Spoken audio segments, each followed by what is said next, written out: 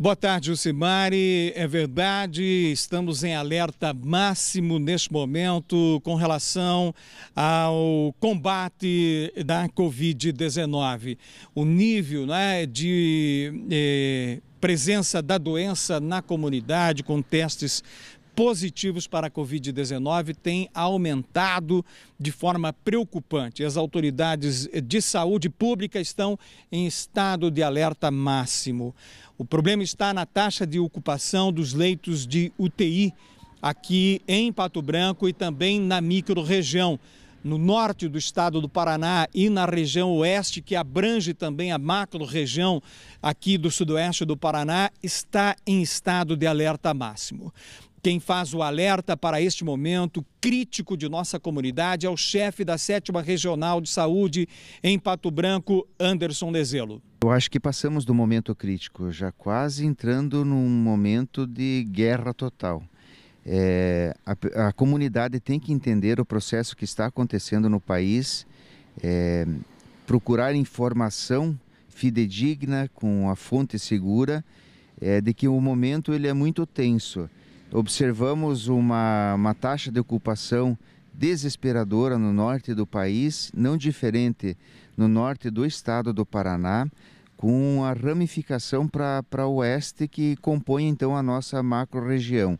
Aqui especificamente na sétima regional, os dois hospitais Policlínica e Sal tendem sempre a estar com a taxa de ocupação acima de 90%, é, chegando em vários momentos a 100% na UTI, não diferente de Chopinzinho e Palmas que nos dão o resguardo também para a regional. Isso significa que todas as medidas preventivas devem ser retomadas imediatamente, é, nós estarmos atentos a ela, no sentido de que quando formos sair de casa, tomar todas as precauções, mas não é só sair de casa. Na própria residência, é, nós temos esse cuidado de manter o um máximo de afastamento é, para com aqueles que estão dentro de casa, porque é, numa incursão que uma pessoa tenha a ir ao mercado rapidamente, ou ao comércio, ao seu local, local de trabalho ou enfim é, qualquer deslocamento, ele pode se contaminar e acabar então trazendo essa contaminação para os demais. Então todo cuidado é pouco e nesse período as, as necessidades de higiene pessoal como lavagem de mãos, uso de álcool gel, máscara e distanciamento social devem persistir.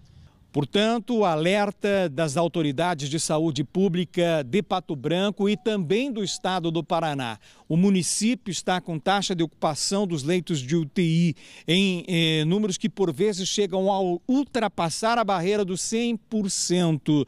Na microrregião de Pato Branco, na microrregião de Francisco Beltrão e na macrorregião que compreende o oeste e sudoeste do Paraná, a realidade não é diferente. Portanto, Cuide-se e cuide-se de quem você ama. Da sétima regional de saúde, com imagens de Paulo Tessaro, repórter Beto Rossati.